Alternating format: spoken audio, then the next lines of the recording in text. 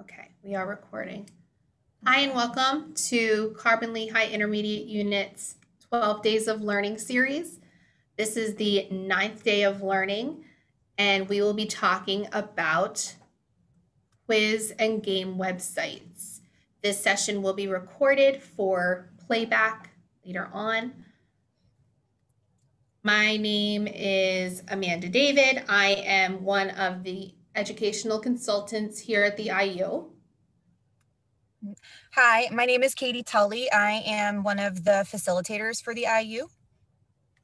Welcome. We're just going to talk to you guys about some review games and things that you can do whether you are face to face or at a distance just to enhance your students' learning.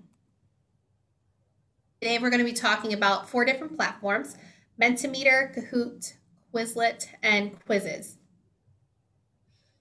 All right, so to get things started, we are going to talk about Mentimeter. If you haven't ever heard of it, it's actually really awesome. Uh, it's really an easy to use program uh, that you can use to create really awesome and fun interactive presentations. You can use it at events, lectures with your class. It, it's very innovative and memorable. You may have seen them used in presentations that you participated at the IU through PaTTAN. Um, so it could be something that you've experienced in your professional development, but it definitely is transferable into the classroom. There's one available right here that we can use in practice that if the if you were just to click on it right here,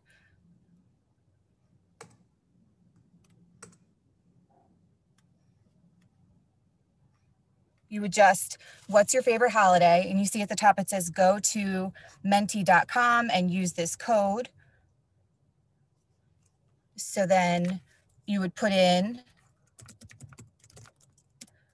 so I'm gonna do that on the back end real quick and put in the code.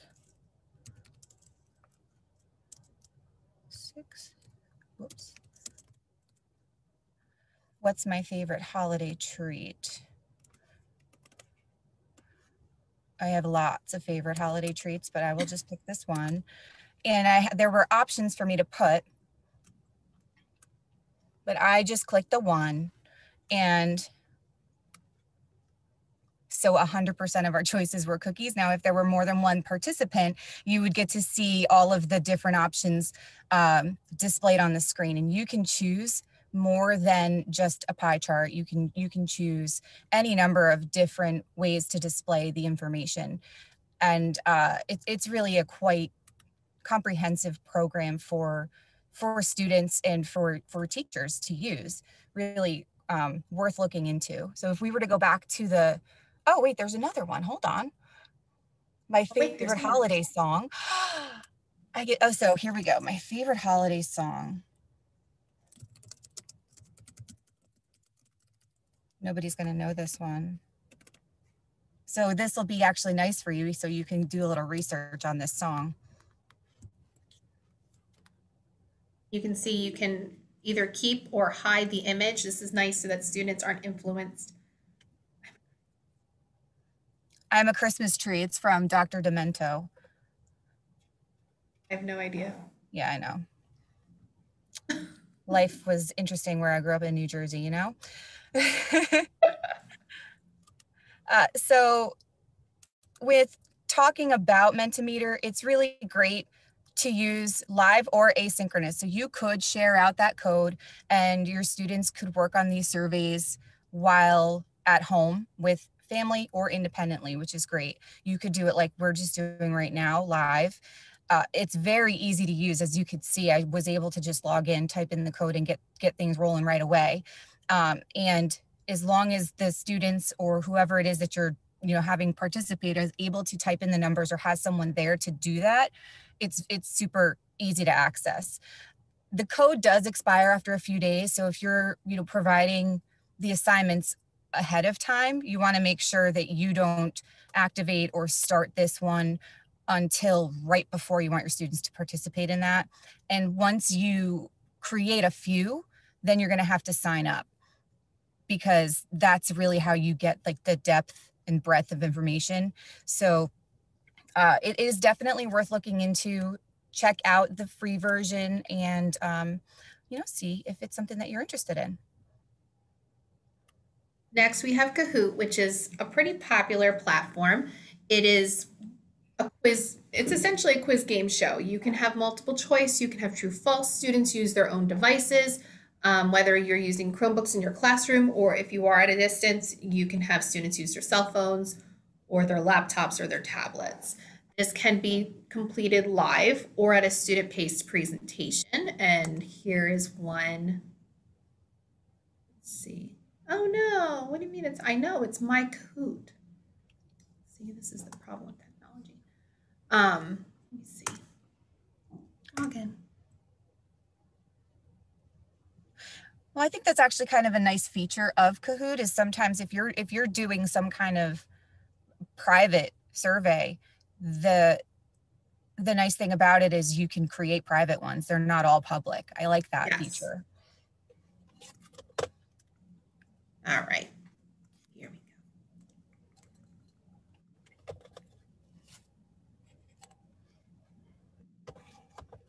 The competitive person in me really likes Kahoot. I do as well.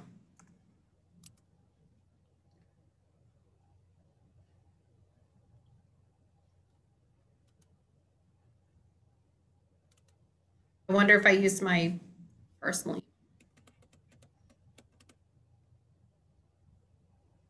One nice thing about Kahoot, actually, I'll go back, is that you can. We have technology. Hmm. So my Kahoots. Let's see if it pops up.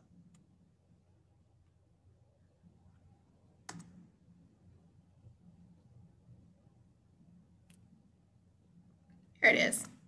Okay, so we can play my Kahoot and we'll do it as if we're in a virtual classroom.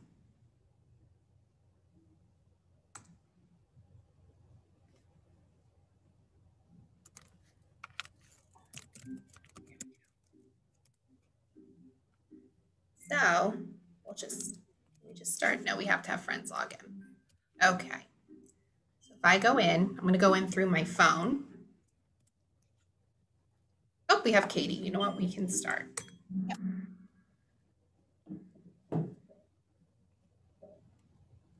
All right, Katie, get ready. These are I'm hard. ready. Katie, how many months are in a year? Great job. And you you can see you can also integrate um, your Bitmoji. So if you have fans of Bitmoji in your classroom, those are always fun to have. And on on my end, I'm not seeing all of that information. I'm just seeing the colors with the shapes, which is nice for our students who are early readers. You know, it's it's really accessible for all grade levels. Yes.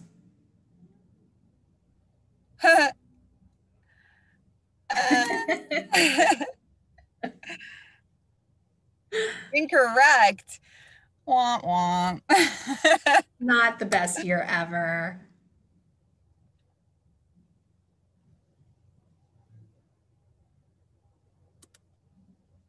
it could have been it could have been Jack Skellington. I'm just gonna say. It could have been. It could have been. It was a trick question. See, it was.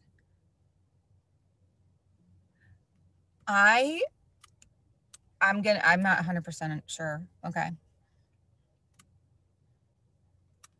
I'm just gonna full honesty there. Okay. What movie is this song from? Let's see if I can hear. Here's what's great. You can add videos.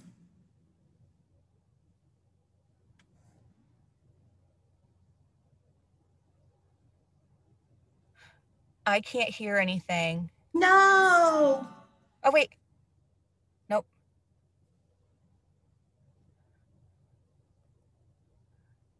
So I'm just gonna guess. I'm gonna guess that one. It was making Ah. Christmas.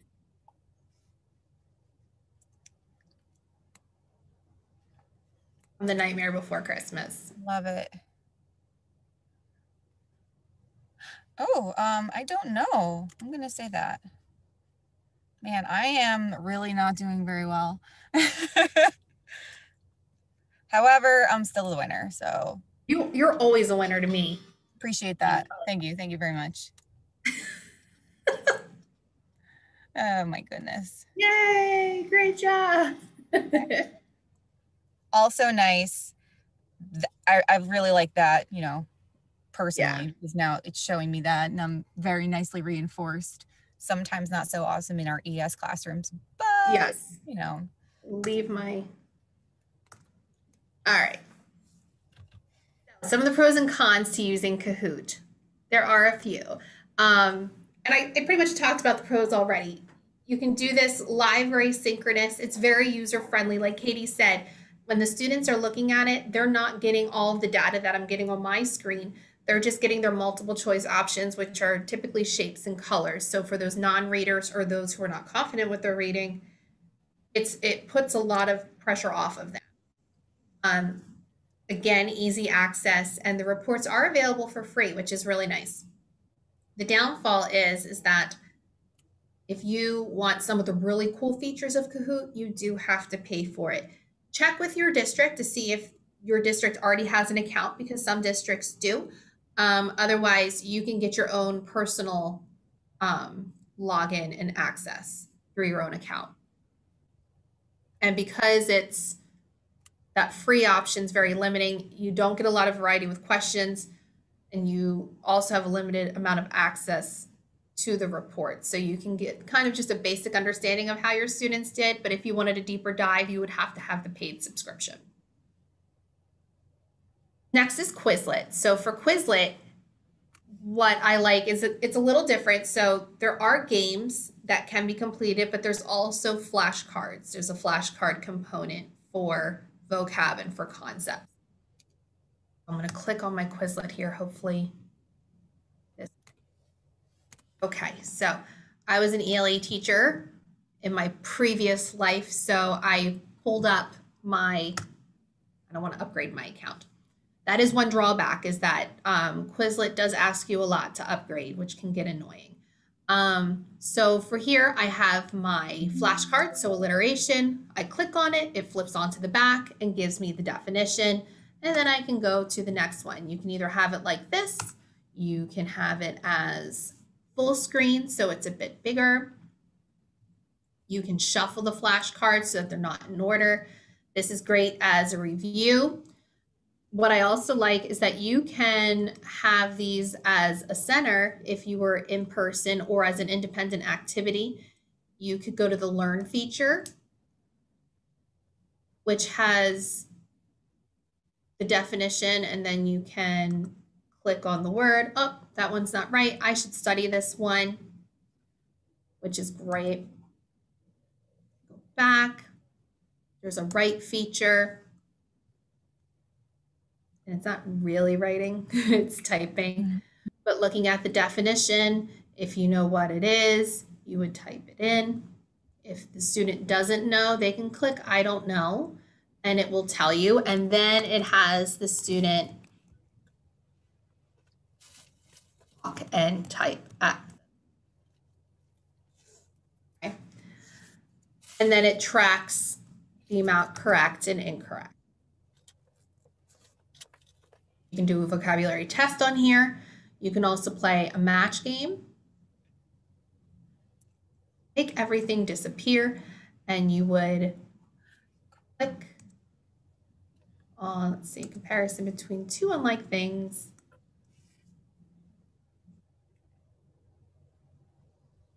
Drag and drop. Let's see. Wow. Goes like that, and you're timed. Try to beat the clock. Gravity is a game. Protect the planets from incoming asteroids. Let's get started. We'll go with easy. It's early in the morning. Mhm. Watch out for red asteroids. If you miss a term twice, they will destroy your planet.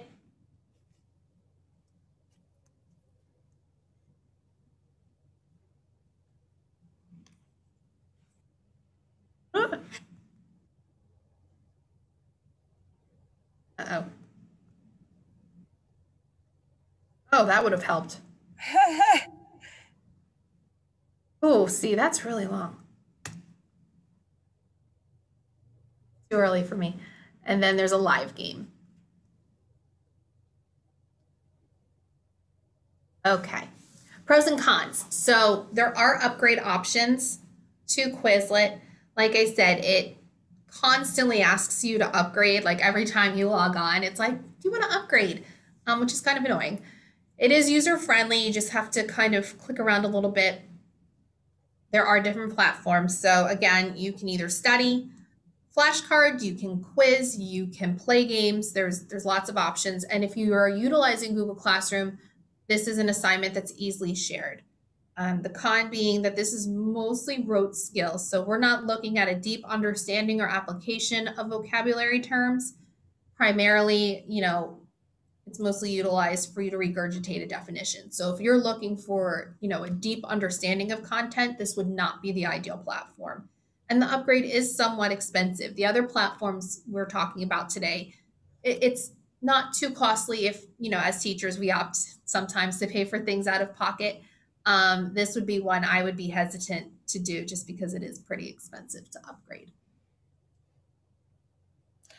Okay, so moving right along, here is Quizizz. Quizizz is is a really nice program. It's a lot, a lot like a game show. It's it is similar to Kahoot. Uh, it's nice because you can use it on the web and you can also download their app. So if you have students that are using iPads, they can download the app and participate that way, or you can just have them access it via the website. Uh, it's pretty cool as well. You can integrate it with Google Classroom. If you're using Remind, you can use it through there as well. Uh, it, it definitely is very similar though to Kahoot. You, you have to create an account. Um, and there is an access code as well which is you know i think nice because if you're participating in an activity as a group you don't want other people to be able to necessarily like jump into it. Um, and again it's it's a competitive activity. Students can do the quiz all together and see the progress or you can do this as a homework assignment and the students can do it on their own. And it, it kind of moves along the progress bar as the students answer their question as it answer the questions. I think we have one that we can show yeah. you. I'm trying to come on. Exit. No. Oh. I'm trying to my like slide bar is right where the link is the cool thing about it is it it looks a lot like memes. And so students also can create avatars.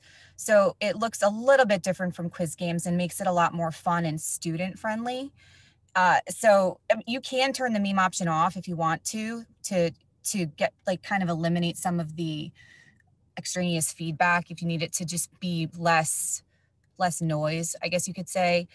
But i think it makes it a lot more reinforcing for your students. So you would go to this website, which I will do. Oh, I'm doing it right now. Okay. So then you, right. you do that and I'll just keep talking. JoinMyQuiz.com, you put your code in and there are different parts of the, the setup you can do. You can, you know, put time allowed. You can vary the number of choices. You can let your students see their results. You can let them retake the quiz. And you can also actually set up um, parent reports. So after the student completes the assignment, you can have a, uh, an email get kicked out to parents so they can see how their students did. So just so you know, as a student, it's coming up like this. Let's see, what is the name of the reindeer that leads Santa's sleigh? I believe that is Rudolph. And so on the teacher end, this is what you see or, and you can project this up on your board so students are not necessarily seeing the questions in front of them on the big board, but they're seeing them in front of them on their screen. Am I most excited for about break? Sleeping. Hmm. I think if you click on questions, you might be able to see, yep. LIU is located in Easton, New York City, Philadelphia, or Schnecksville. I believe it's Schnecksville. Knoxville. Last question. Name a holiday that occurs in December.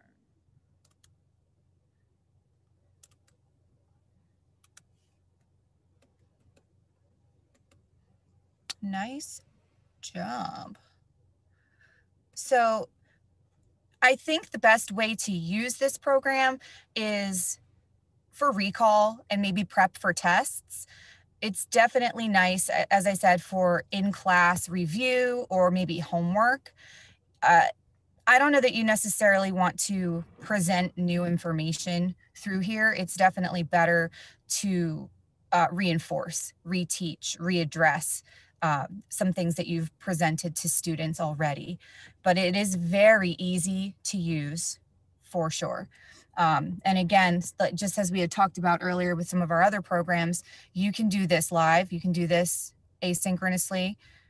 Um, the only thing is, and I think we sort of saw that a little bit, is there's like a little tiny bit of a lag, but um, not a huge one. And I've I've heard that it's rel it's relatively easy for our students who are using an iPad to accidentally click the wrong answer. Um, I don't think that Mandy experienced that, but we might have like our students who have like tiny little fingers just kind of jamming onto the answer and accidentally getting the wrong one. So that's that. That's what we got for, for you for there. So some extra resources. Uh, these are just a few links that you can check out. Um, and if you're interested, the first one is a link to, I believe it's to Common Sense Media, and it's a listing basically of um, the best quiz and game show apps for classrooms that have been rated by educators, by individuals whose job it is is is basically to evaluate websites um, and technology. They'll give you the pros, the cons, basically what the bottom line is, how you can use it in your classroom, what students will like about it, and they typically give it a, a score out of 10. Um, so that's a very helpful website to visit. The second one is, is Sporcle quizzes for kids. When I taught, we used Sporcle all the time. And it is something that you would create an account for yourself and you could potentially create an, an, account for your students if you wanted to challenge them or have them challenge each other. And um, it, it's it's trivia basically. I mean you could have them do review and you could create your own but i i like it basically for the fun review stuff. Like around like the close to break we would go in and do holiday review or movie review or sports review, just kind of fun end of the year, um, relaxing stuff. And then again, this other one, this game show classroom comparing Kahoot Quizizz, Quizlet Live, and Gimkit. It's another, basically, I want to say this is also a common sense link. Uh, I'm a huge fan of commonsense.org because I think you're going to find really well vetted information. So if you're not sure about what program you should choose, head to Common Sense and you're going to probably get some good information from them. Um, so those are just some additional resources for you to check out. And um, our information is there. I'm going to kick it back over to Mandy. And that's pretty much it for us. If you have any questions, please reach out to us. I put our emails up on the screen. And um, thank you for stopping by, checking out our resources, and we hope you have a wonderful holiday season. Take care. Bye bye. Thanks. Bye.